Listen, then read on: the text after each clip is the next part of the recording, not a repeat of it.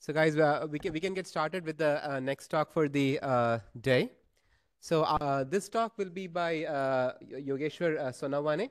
So Yogeshwar is associated with the Center for Development of Advanced Computing or CDAC in India. his talk will be on um, the performance ob observed with uh, MVAPICH2 over CDAC's own Trinetra interconnect network. so let's welcome Yogeshwar.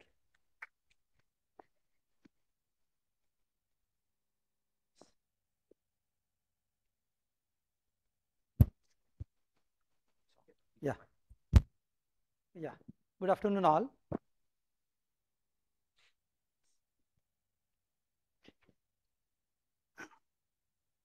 So before I begin, uh, I would like to thank Dr. Panda and the MUG organizing team for inviting me for the MUG 2024 conference. Thank you. So today I will be talking about the MVAPICH over CDAC Trinetra network. So the outline of my talk is I will be first introducing the Trinetra HPC network. Then I will be covering the software stack for Trinetra.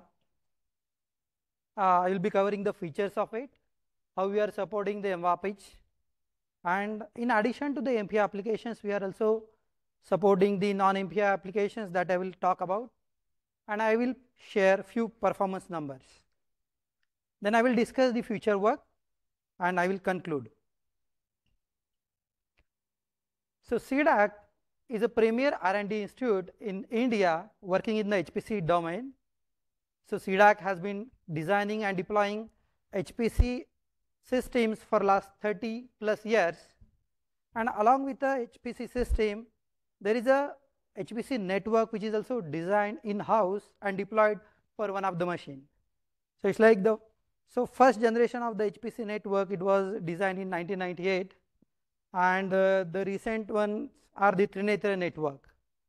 So Trinetra is available in two variants. Uh, so Trinetra A we call it as and then next one is Trinetra B. So Trinetra A is like uh, I'll just discuss the those two network variants. So Trinetra A is like a 100 Gbps network on the link side and it supports six links. We can see from the diagram it's uh, it supports six links. It's a PCI based add-on card. Uh, so the, it's uh, the host side connectivity is PCI Gen 3 X8 and this card is having the FPGA to, to process the hardware. So hardware logic is uh, implemented in ultra scale series of FPGA and the topology for this Trinetra A is torus. It can be either 2D or 3D topology.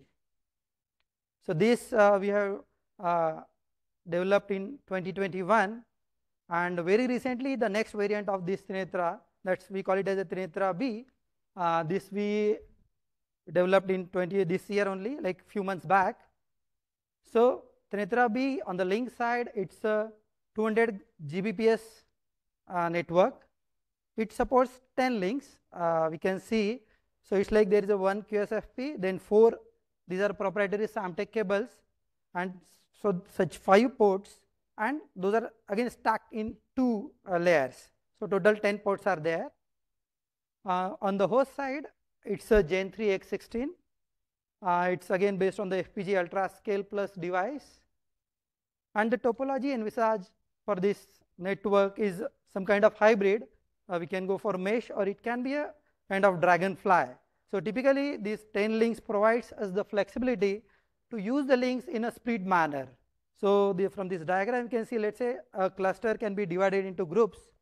So within a group let's say out of 10 8 links are used for the maximum connectivity and the remaining 2 links are used to connect across the groups. So that's what the plan is.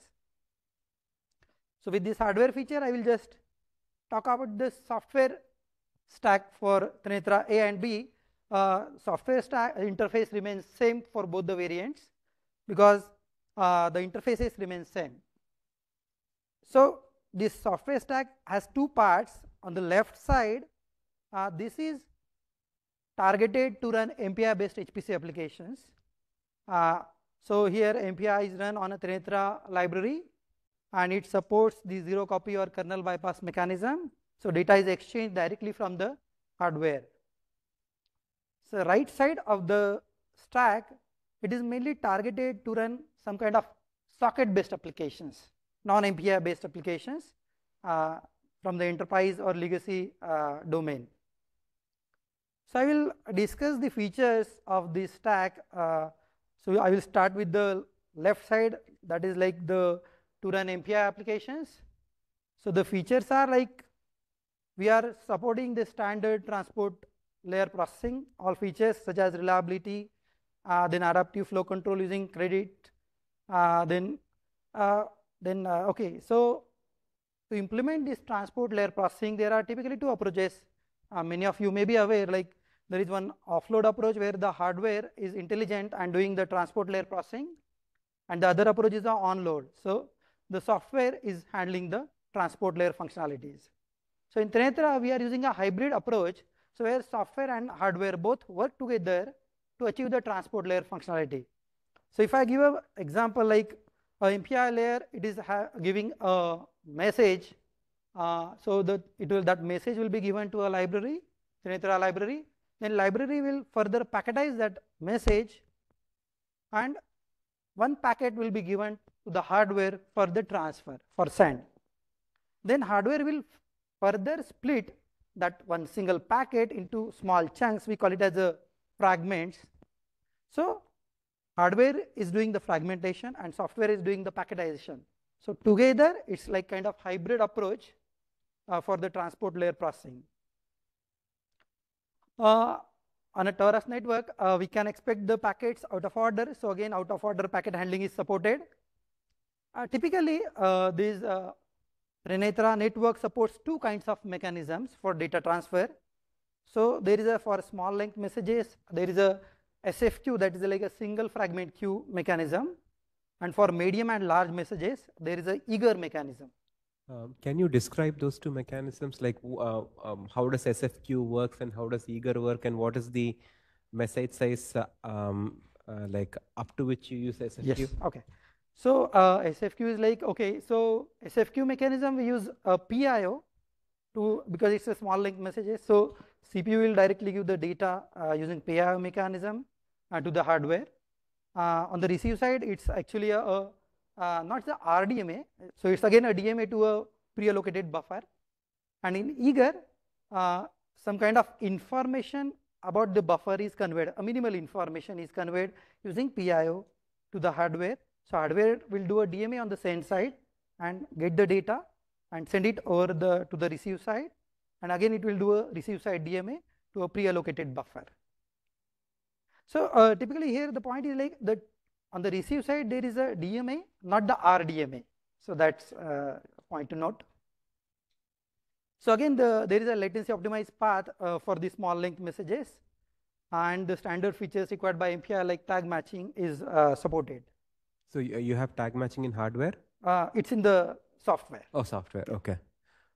So um, uh, since you don't have RDMA and only DMA on the receive side, you will have to pre-post uh, larger yes, buffers. Yes. Is that right? Yeah. And on the receive side, there is one copy involved uh, from the intermediate sure. to the application. Sure. Buffer. Thanks. Okay. So then I will just discuss about how we are supporting MPI. Uh, for that, we prefer MVAPICH. Uh, the reason being uh, we have been discussing this for yesterday and today. MVAPICH comes with different variants like MVAPICH Plus, X, GDR uh, for additional features. So if we support one variant, the other variant can be supported faster. So that's the advantage we get with MVAPICH. Again, we have been using, uh, there is a long association with the MVAPICH team. We have been using MVAPICH since 2005 and uh, it's an excellent interaction as well as help from the team. And uh, MVAPICH is like, it's not only MVAPICH uh, the OSU is developing, but in addition to that, there is a INAM as well as OMB. We have been using OMB, the other developments. And INAM is also one of the interesting uh, uh, development for us. We are exploring if we can support the INAM for Trinetra. Like in the morning, uh, Dr. Panda mentioned, like INAM can be used to correlate the network data with MPI data. So uh, this is again one of the wish list uh, from our side. Okay, moving on. Uh, so we are supporting. Okay. so we are supporting MVAPICH uh, 3, the latest version, using OFI implementation. So we have, and uh, this MVAPICH 3 uh, over Trinetra is validated with standard benchmarks such as OMB, IMB implementation, then NAS parallel benchmarks, as well as HPL. We also run couple of HPC applications uh, from different application domains. Like uh, I will talk about these application performance numbers in further slides. So till now we discuss about the software stack features for the MPI applications. In addition to that, we are on, let's say on the right side, uh, we are also have some part uh, in the software supporting the socket applications and that we achieve using IP over IB or Trinetra. So we have ported, uh, supported this IP over IB component of uh, from the OFED or uh, mainstream Linux over Trinetra and we get the socket, we can run the socket applications over Trinetra. Um, so we have validated this uh, implementation using the standard socket uh, benchmarks such as iperf, netperf, uh, even trying the Lustre or any NFS file system or that IP or IB interface. So uh, with this, I will just talk about few performance numbers. Uh, Just a quick yeah. question. So your network is uh, regular Ethernet, right? Yeah. So it is on the link side, it is having the Ethernet interface, but the protocol implementation is completely uh, proprietary. Okay. Yeah. Thanks. So uh, in order for us to do like network monitoring or network management, um, like SNMP or those kind of uh, protocols, or let's say some of the newer protocols uh, in that regard, that, that would suffice. Is that right? Yes. Okay. Yeah. Thanks. So uh, I will just talk about the what test bed and environment we are having. So there are two test beds. Uh, one is the Trinetra A test bed. Uh, it is a 24 node cluster and it is based on the Rudra server. I will just take a minute to describe the Rudra server. Uh, Rudra server is also a CDAC's indigenously developed uh, server platform based on the Intel uh, Neon City reference. Uh, it's a half width uh, dense platform and it is Open 19 compliant and it comes in the 1U as well as 2U form height form factor. So uh, here it's like 24 nodes are connected in 2 cross 2 cross 6 connectivity and the standard all other uh, software components are available. The next is a Trinetra B test bed. It's a 12 node uh, Supermicro based uh, test cluster. And here the Trinetra B that's a 200 Gbps network is connected in 4 cross 3 fashion. So uh, I will just present the micro benchmarks. Okay, so Trinetra the latency. Here the latency is uh, 1.9 microseconds. Uh, that's the uh, that's what we get. Uh, here is like we are using FPGA, so we have to whatever is the vendor is offering the standard PCI cores as well as the SerDes cores, we have to uh, work with them. So again, there are some those may not be the best optimal perf performance tune, but if we let's say go for the ASIC, we can uh, overcome those constraints. So these numbers may be, will be again uh, better if we go to the ASIC. For the bandwidth, okay, so this is a bandwidth we get maximum around 4550 megabytes per second. Uh, so again, the reason here is like uh, on the host side, even if the link is 100G, the host side is PCI Gen 3 X8. So it's, li it's limiting it to the uh, 64 giga transactions. Again, it's uh, the FPGA limitation. Uh, out of that, we are able to extract this performance.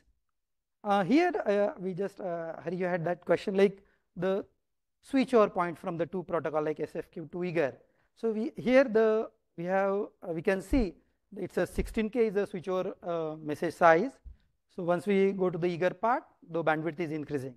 Have you tried uh, playing around? So looking at the yeah, performance yeah. trends, like probably 1K or 2K may be a better yes, point. Yes. So that's a good point. I, in the next slide, I'm going to just cover uh, okay. that point. But okay, so we actually did one experimentation, like we uh, played around couple of uh, packet sizes for the switchover points. So it's like uh, we tried with 4K, 8K, and 16K. Uh, for 16K, we could get the maximum bandwidth. Uh, for for 4K, it was like a smooth rise here, but again the maximum bandwidth was not achieved. Again, we, we want to investigate this, but okay, the point here is like this can be customized and this can be, this threshold point can be changed. So if we know, uh, let's say any application characteristics or what we are, what we are like planning to run, so that accordingly this threshold or the switchover point can be controlled. So this uh, were the performance micro, bench, uh, micro benchmark performance on the Trinetra A. For Trinetra B, uh, so this is like a comparison between A and B. Uh, so mainly A and B, the resources are doubling. So it's like Trinetra is 100G, uh, B is 200G. Again, the PCI side, uh, A is X8 and the B is X16. So we are similarly seeing the bandwidth doubling here. Uh, so these were like the micro benchmark performance uh, from MPI side. Uh, again, the other component uh, is like that IP over IB over Trinetra. Uh, so we have run these iperf and netperf and we are able to get these kind of bandwidth numbers, uh, 3000 and close to 3000. And these are like standards, mostly available numbers on the on the websites, the reference so moving on, I will just discuss couple of application performance numbers. Uh, again, here uh, we have run the LAMMPS. Uh, that's a molecular dynamics uh, uh, domain application. So we have used MVAPICH to run uh, this application, and really the exercise is like we have kept the problem size constant and increased the number of nodes to see the scalability. So the, on the x-axis we have a number of nodes, and on the y-axis we have time to take time to complete the application run. And as we see, increase the number of nodes, we are seeing the time is gradually uh, reducing. So it's a good linear scalab scalable uh, observation. Uh, similarly, ex similar exercise is conducted for another application uh, that's OpenFOAM. Uh, that's from the CFD, that is Computational Fluid Dynamics domain. And here also we are seeing a good scale up uh, when we migrate from 2, 4, 8 and 16 number of nodes. Uh, next, I will be discussing about uh, one application that's uh, that's this this is from the seismic processing domain, SysACOMO 2D, and it's actually our in-house application developed. Uh, here we have run uh, this application on Trinetra A test bed, and it is also equi equipped with a, a Mellanox HDR100. So we have run the same set of uh, uh, data set on these both the networks and number of nodes are varied and we can see the performance is equal, nearly equal. So uh, now I will just briefly discuss what this is like what we have done till uh, till now. I'll just discuss what is the planned activities. Uh, so in future work so we have test bed till 24 nodes. We are by this year end we are planning to have 128 node a test bed uh, on a Trinetra B network using Trinetra B. So again, uh, uh, like just to recap, Trinetra B is a 10 links. So here the plan is 128 nodes can be formed using a 32 node like group, such four groups. And uh, out of 10 links, let's say eight links will be used for the within group connectivity like that 32 node connectivity and remaining two links will be used for across group connectivity. So that's what the plan is. We are expecting this by their, uh, this year end this uh, cluster uh, will be available. Again the next uh, planned activities like we have tried the HPC based applications till now on the Trinetra network but we would like to explore the other domains such as AI based MLDL applications and again we are hoping and we are trying to make uh, these MPI variants to be like running on the Trinetra network to support these MLDL applications. Uh, we can see like uh, when we say Trinetra, so it's a complete in-house development. So we have fine control over the software as well as hardware components. So we can fine tune uh, those parameters if we know the application characteristics. So this exercise will help to get the optimal performance for the applications. So CDAC has been collaborating with uh, national labs in India as well as, well as uh, different academic institutes and we are working with application developer teams uh, to get best performance on our test bed. And I discussed like another wish list is like if you can support INAM over Trinetra. Uh, so that is, yeah, yes. So that we will discuss maybe and uh, we'll see how it can be, uh, we can do it, yes, yes. So uh, with this, I would like to summarize like we, we started with the introduction to Trinetra hardware, Trinetra network hardware, then we discuss about the software features. Uh, there are like two kinds of applications which are supported. One is MPI and the non-MPI like socket-based applications. Uh, is an indigenous development. A feature is software stack is there. And for MPI, MVAPICH we are using as a primary MPI, but other MPIs are also supported because it is um, Trinetra is supporting OFI. And uh, we are excited uh, to do some experimentation around this Trinetra B network uh, with 10 links. So it will give us flexibility of trying some topologies. Uh, so we are excited to work with that. So with this, uh, I thank you all for the patient listening. I can take a couple of questions.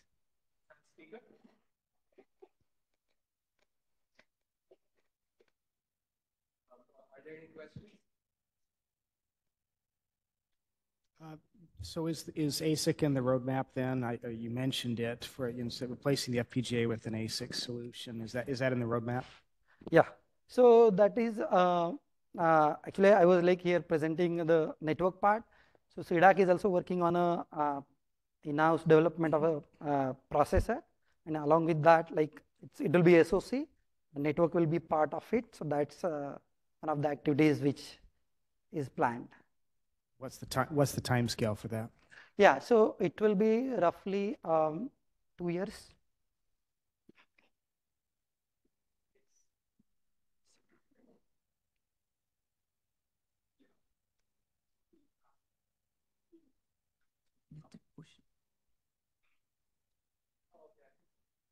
Yeah, I'm able to hear. Yeah. Yeah, so that's actually a good point. Like uh, uh, for this, our latest variant, that Trinetra B, the adaptive routing is supported on that. Actually, we are yet to do some experimentation around it. Uh, for the previous generation Trinetra A, that adaptive routing is actually not, that feature is not supported there. So we could not do some experimentation around, around it. But that's again an interesting and one of the to-do list for us. Yes, Ben. Uh, sort of quick thing is, um, not sure if this is within the realm of the work of the of the uh, for Trinetra, but is there any um, are there any are there, are there any plans for say something analogous to NVIDIA Sharp, like in-network compute functionality? So I, I think the question is, uh, Mellanox has a, or NVIDIA Mellanox has a feature called Sharp for network offload. Do you have any uh, plans Yeah. for something like that? Yeah, okay. So, so uh, we'll, it's like, uh, again, our hardware is based on the FPGA. So again, there are limitations. Yeah. So um, currently we are not planning for a hardware bit based offload. Yes, yes. Sure, thanks. Um, uh, if there are any questions, may I request that you uh, follow up with uh, Yo- Yogeshwar uh, offline. Let's thank the speaker again. Thank you.